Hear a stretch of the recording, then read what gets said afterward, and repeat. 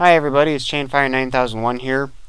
Once upon a time, over 300 videos ago, I promised I was going to do a tutorial on editing the overworld in Lunar Magic. So here we are. We're finally going to do it. Before I continue, I should mention that this is the latest version of, of Lunar Magic. So uh, if you haven't gotten that yet, it was released in September 2009. So uh, if you don't have that yet, go to smwcentral.net and download it because it has some improvements over the previous version. So let's get cracking. We're going to open the overworld editor by clicking the castle button in the toolbar.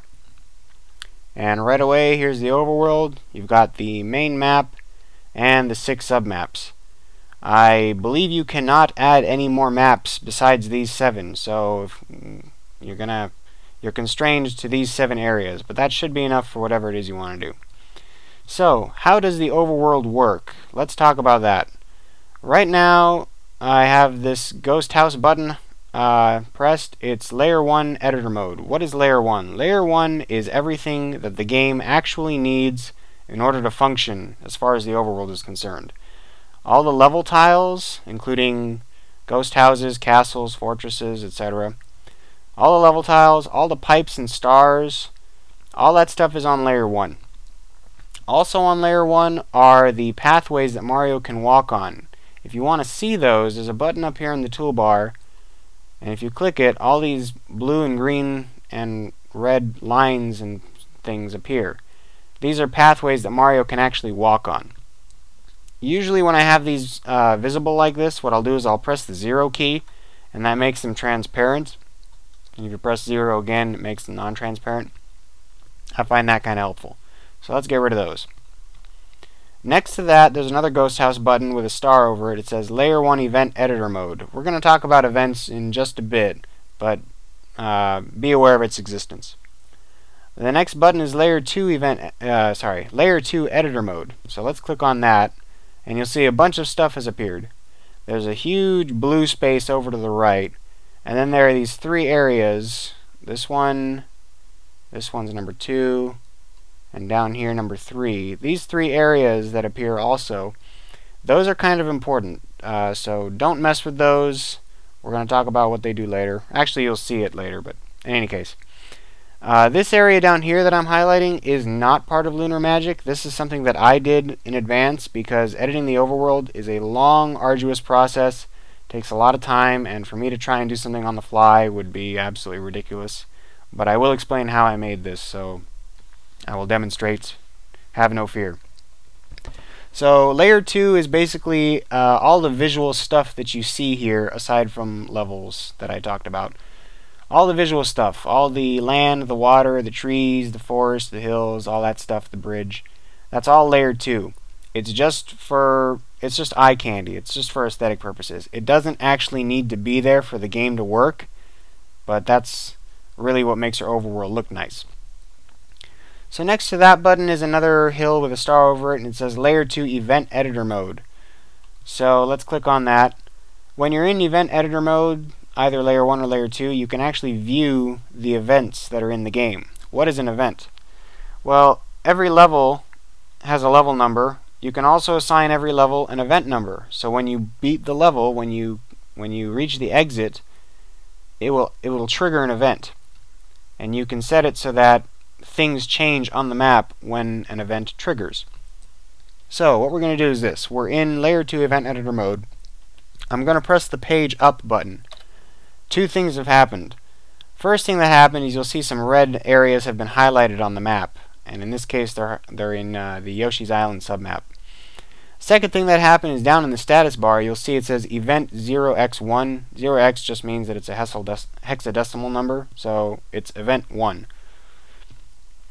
So, um, if I press page up again, you'll see that now that red area has, it's no longer red, and you'll see that stuff has filled in. And no new red area has popped up because uh, event number two is the end of the Switch Palace, and there are no new paths after that, or because of that. So if I press page up again, Haha, there you see there's another event over there. If I press page up again, there's another one over there. So I'm going to press page down, go back to the first one. Now, if you actually want to see these areas being filled in, if you press the home key, you'll actually see the event step by step. So I'm clicking like that. There you go. Alright, and if you keep going, you'll see more events. So basically, you can use page up and page down to go event by event, and you can use home and end to go literally step by step and break it down uh, between events.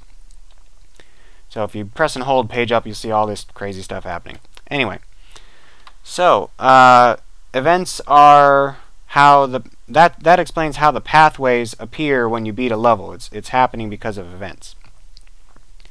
So the last thing up in this toolbar in this group here is the uh, sprite editor mode, and that just lets you move stuff around like the uh, the ghost that circles the ghost houses, and also the Mario sprite, which is it, which is what uh, this is where Mario enters on the overworld, and it's because of that little sprite there. So let's start editing. I like to start with layer two, so I'm going to do that. So how did I make this? Well, it's basically the same as uh, editing levels. You can highlight things with left click like this and then you can paste them with right click like that. Also up in the toolbar there's a group of three buttons here. The first one is 8x8 overworld tile selector window. These are all uh, layer 2 tiles. So everything you're seeing over in the uh, overworld and all these maps, they're all composed of tiles from this window. So you can find them all in here.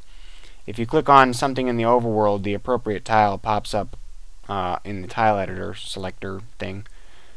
And then, you know, you can flip it horizontally, horizontally, vertically, both, whatever. You can also change its color, but I think there are certain palettes you're not supposed to use, but in any case. So basically, that's what I did here. Some of this stuff I picked out from the uh, tile selector window, and then a bunch of stuff I literally just pulled off the overworld. So like this waterfall, I copied that and, and a couple other things. So I mean, we can do that some more. Like if I want some more trees over here for some reason, uh, let's clean up this one and then grab a couple more just for good measure. Just because I like trees. Not really, but who cares? Which one is that? That's this one I think. And then this one. Yeah. So, I mean, you get the idea. It's it's pretty self-explanatory at this point. And then what else can we do? Well, uh, if I want to pull stuff out of the tile selector window, let's grab, let's piece together this thing here. This little rock formation. So there's two, there's three, and there's four. So I can, oops, highlight this, move it around, make a couple of them. We can, uh, oops, fill this in like that. And I got some overlap there. You get the idea though. So uh, just like when you're editing levels, if you have something highlighted on the map and you right click, it'll paste that. So if something is highlighted and you've selected something in the window here, when you right click it'll still paste what's highlighted. So just be aware of what your mouse is doing.